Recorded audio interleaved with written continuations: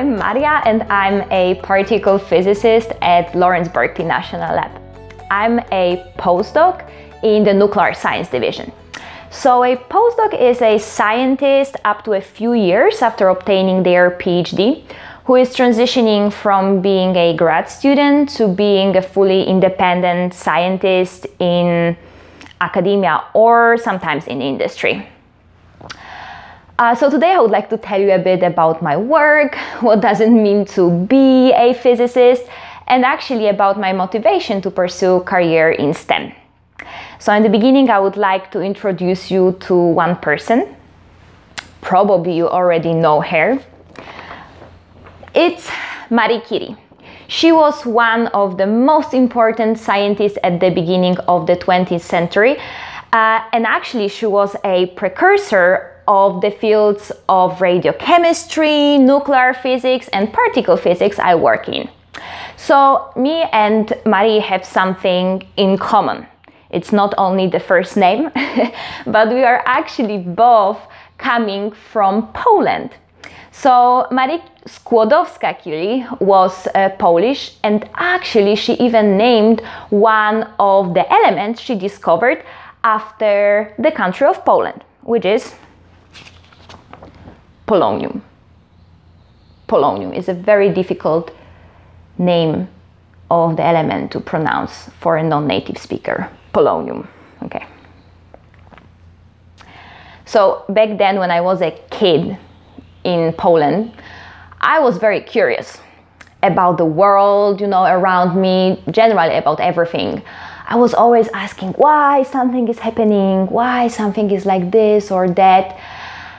I liked chemistry, math, I liked uh, physics later, but you know, I also liked Polish literature. So I really didn't know what I wanted to do in the future. I was very, you know, undecided. And then uh, at my high school, I had a very charismatic physics teacher, and I wanted to be like him. You know, I wanted to be a teacher, and I've chosen physics because it was like a sophisticated solving of puzzles and riddles, and I was learning a lot about the world around me. So then, during my studies at the Jagiellonian University in Krakow, Poland, um, my dreams of becoming a teacher kind of transitioned into dreams of becoming a scientist. And everything happened during my undergrad internships in Fermilab, one of the national labs here in the US, when I got completely hooked by the world of particle physics and this, you know, international environment of scientists. And yeah, I, I decided I want to be a scientist. So I uh, decided to continue in physics. I moved to Germany where I, where I obtained my uh, PhD from the University of uh, Cologne and Research Center Jülich. And right now I'm a postdoc at Lawrence Berkeley National Lab. So this also show you very well that science is really international. You know, I'm Polish, I moved to Germany, right now I'm here in the US and really, scientists from all over the world are working together to push boundaries of our knowledge. So, what boundaries do I push at my work? you know, in my studies, I try to understand um, how the matter which builds me, you, and our whole world is constructed, how it's structured, what is the most basic, most fundamental structure of matter which builds our world. So, actually, our universe is quite old.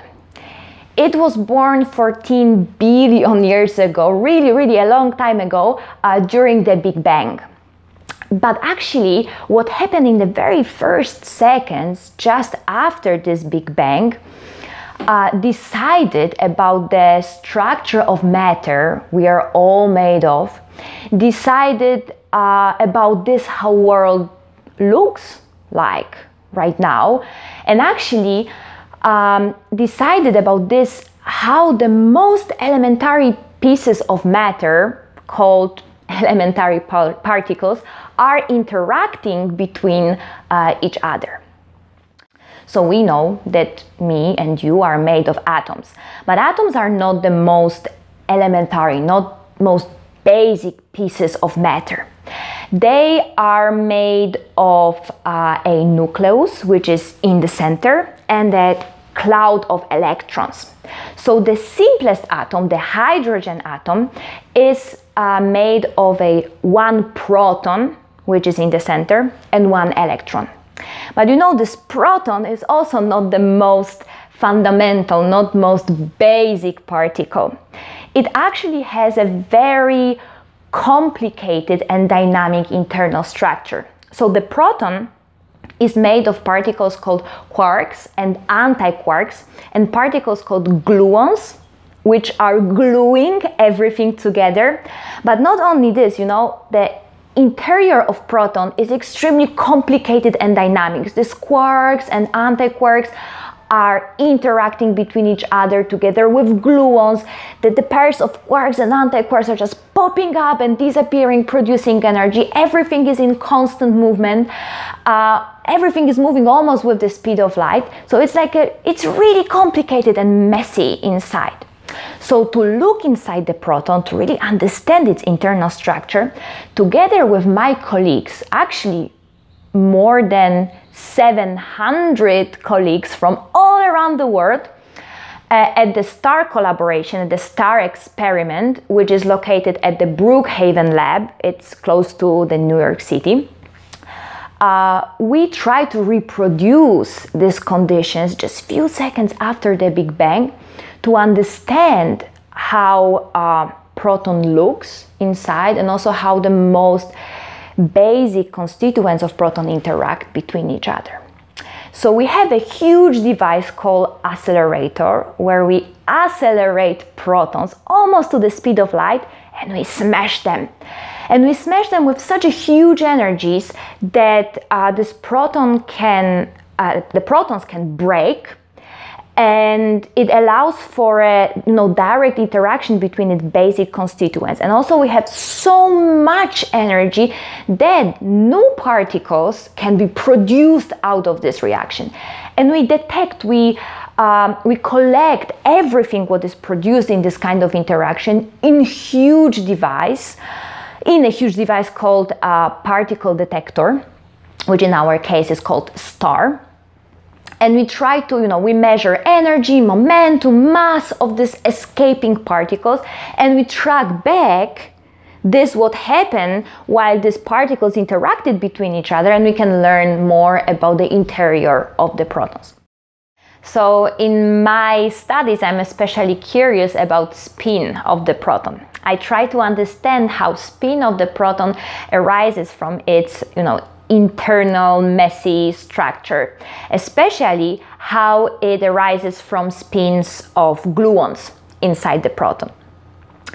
What actually is spin? So spin is a very basic property of every particle, now as fundamental as mass or electric charge. Uh, it is related to magnetic properties of uh, particles. So when a particle with spin travels through magnetic field, it will behave like a small magnet, a weird quantum mechanical magnet.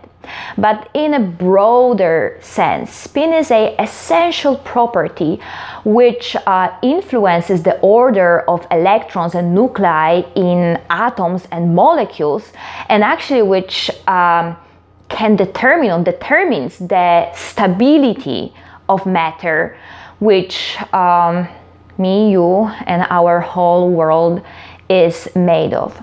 So, studying spin allows us to understand the matter which we are made of and actually brings us closer to answering the very, very fundamental questions about this how our universe exists uh, as it is.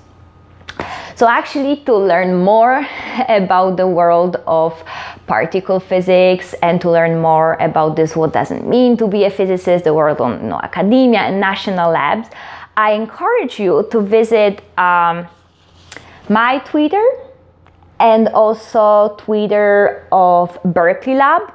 and also web page of Berkeley Lab where actually you can learn by far more not only about physics but the whole world of different disciplines you know from biosciences through material sciences computing sciences and uh, you know chemistry and very and many different branches of physics